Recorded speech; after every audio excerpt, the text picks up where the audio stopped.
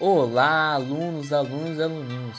Bom dia, boa tarde, boa noite, boa madrugada. Aqui quem fala é o professor Fagorapa e vamos para a nossa próxima videoaula de GIMP. No nosso canal teve uma dúvida perguntando como criamos um texto em curva. E nesta videoaula você estará aprendendo o recurso de caminhos, essa nova ferramenta que a gente, a gente ainda não aprendeu, e combinando a ferramenta de texto, que a partir desses caminhos a gente consegue fazer um texto em curva. Vamos lá? Para começar, vamos em Ficheiro, Novo. Em Novo, a largura e altura pode ser variada. Neste caso, estarei usando 768 pixels de largura por 400 de altura e clicarei em OK. A nossa área de pintura já foi criada. No nosso menu de ferramentas, nós temos essa opção. Se você inserir, é, colocar o mouse em cima dela, ele vai falar ferramenta de caminhos. Cria e edita caminhos, ou pelo atalho B. Então eu estarei dando um clique nela e está aqui nessa ferramenta de caminhos.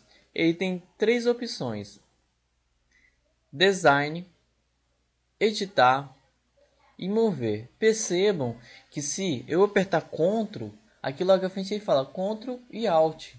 Se eu apertar Alt, ele vai mo modificar a opção automaticamente. Eu não preciso vir, é, vir na ferramenta e clicar em editar. Eu posso utilizar o atalho Ctrl e Alt para estar modificando os recursos dele. Mas primeiro vamos precisar aprender o básico dele.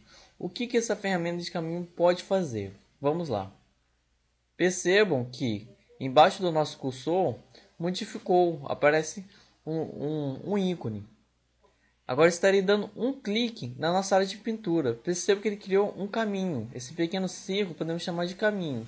Se eu clicar ao outro lado na nossa tela de pintura, ele vai criar outro caminho. Percebo que a partir do primeiro caminho para o segundo, há uma linha contínua, ou seja, essa, a partir do primeiro caminho para o segundo, a linha segue. E se eu quiser criar um terceiro caminho, eu posso? Pode. Mas perceba o que aconteceu. Ele não seguiu do primeiro ponto ao terceiro. Ele seguiu do segundo ponto para o terceiro. Por quê? Porque ele reconhece o último caminho que você é, utilizou, que foi o segundo, e a partir desse caminho que ele irá seguir para o próximo caminho, e não do caminho anterior, que é o primeiro ponto. Então, se eu quiser criar um quarto caminho, ele não vai seguir do, terceiro, do segundo caminho para o quarto, ele vai seguir do terceiro. Por quê? Porque foi o último caminho que eu utilizei. Então, estarei dando mais um clique. Percebam que ele seguiu a partir do último caminho que eu utilizei. Eu posso criar quantos caminhos eu quiser? Pode. Eu estarei criando vários para vocês estarem vendo. O texto pode seguir esse caminho? Pode. O caminho que você criar, o texto pode seguir. Eu estarei apertando Ctrl Z para estar desfazendo e recomeçando para explicar outro recurso. Você irá dar um clique e clicará logo à frente. Percebo que essa linha, essa linha que, ele, que liga os dois caminhos, você também pode modificá-la. Se você clicar exatamente nela e arrastar, ou seja, clicar no botão esquerdo do mouse e arrastar, você pode modificá-la. Percebo que aparecem esses dois quadrados, ou seja, isso aqui não é um novo caminho. Isso aqui representa, faz parte dessa modificação que você fez e você pode modificar de outra forma. Por exemplo, se eu clico nesse quadrado e arrasto, eu consigo modificar a minha linha, fazendo curvas. Se você errar como eu fiz agora, ele criou outro caminho. Então a partir daqui ele vai criando outros caminhos. Como que eu faço para voltar? Apertei Ctrl Z e temos aqui o quadrado. Estarei clicando. Agora sim eu consegui selecionar o quadrado e eu posso modificar a minha curva assim como eu quiser. Se é, eu, eu estiver aqui, de, vou estar criando um novo objeto. E a partir dele, ele vai seguindo. Perceba o que vai acontecendo.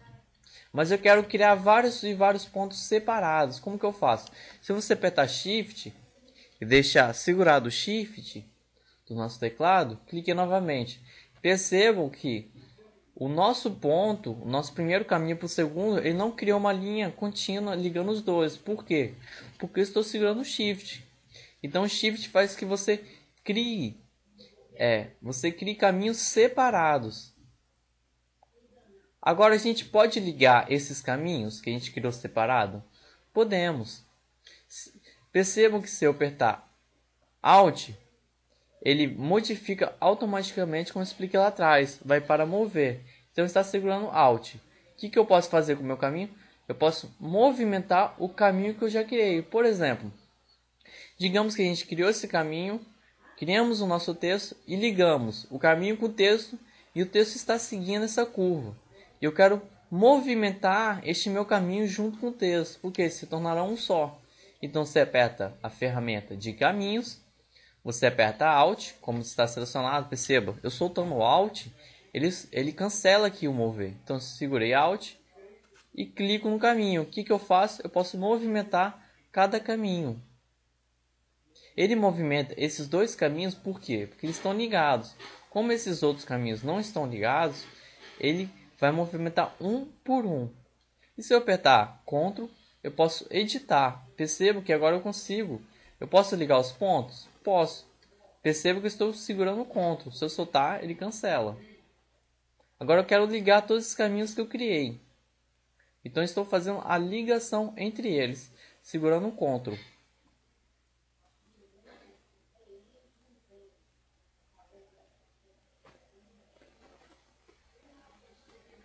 E consegui ligar todos os caminhos, ou seja, esses caminhos se tornaram um só. Se eu apertar Alt do nosso teclado e clicar nele e arrastar, eu conseguirei mover todos os nossos caminhos. Percebam que se eu chegar próximo ao outro caminho, por instante que ele, ele moveu também o, o caminho anterior. Eu estarei cancelando essa minha última edição. Acho que é me apertando Ctrl Z e deixarei somente esse nosso caminho. Por quê? Porque agora a gente vai ligar o nosso texto a ele. E é difícil fazer isso? Não é difícil. Basta você ir ferramenta de texto. Na ferramenta de texto, você clicará na nossa área de pintura e escolherá um texto de sua preferência.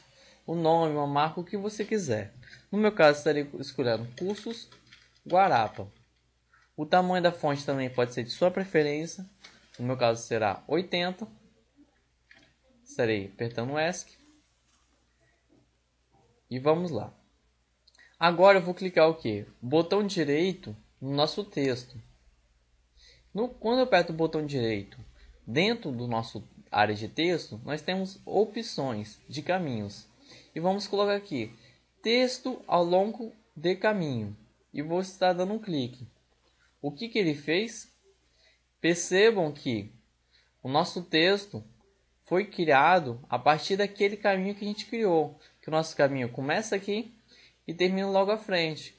Então ele seguiu esse caminho e criou e um texto em curva. Vamos voltar para a nossa ferramenta de, é, de caminhos. Perceba agora, se eu clicar no nosso texto, ele vai ter vários e vários pontos. Por quê? Porque ele transformou, assim quando ele liga o nosso texto ao caminho, ele, a gente não tem as mesmas opções que de texto. Quando você vem em texto e você clica no seu texto, você pode modificar letra por letra, pode escrever novamente.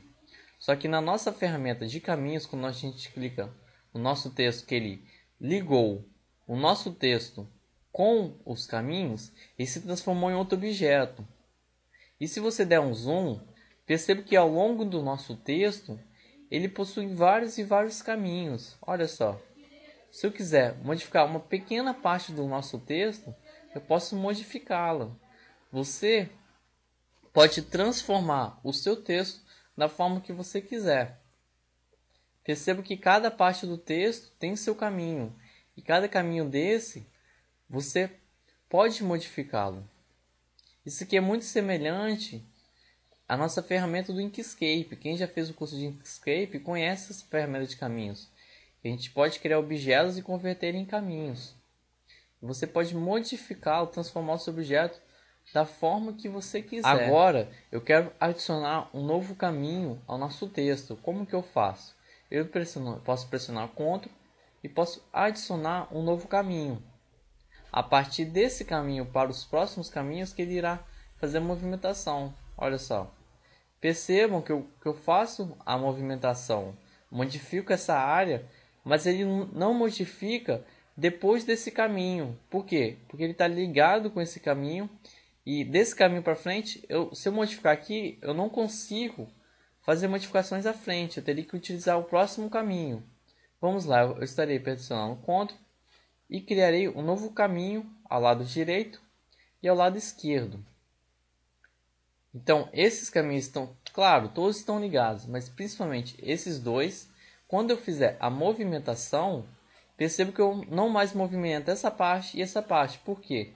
Porque tem um caminho, aqui você pode entender como este caminho está fazendo uma barreira que está impedindo que você consiga modificar outras partes do seu texto. Então, como eu adicionei mais caminhos aqui, então ele só conseguirá modificar entre esses dois caminhos e não depois deles. Depois deles, só se eu for na linha depois deles e aí, aí sim eu consigo modificar. Mas perceba quando eu modifico entre esses dois pontos, eu não consigo modificar aqui dentro. Por quê? Porque esses caminhos estão fazendo uma barreira, estão impedindo isso. Se eu apertar Ctrl Z até a minha última edição, que não tinha esses dois caminhos, eu consigo modificar a linha toda. Agora, se eu apertar Ctrl e adicionar mais caminhos, eu só consigo modificar o, os caminhos entre esses dois pontos.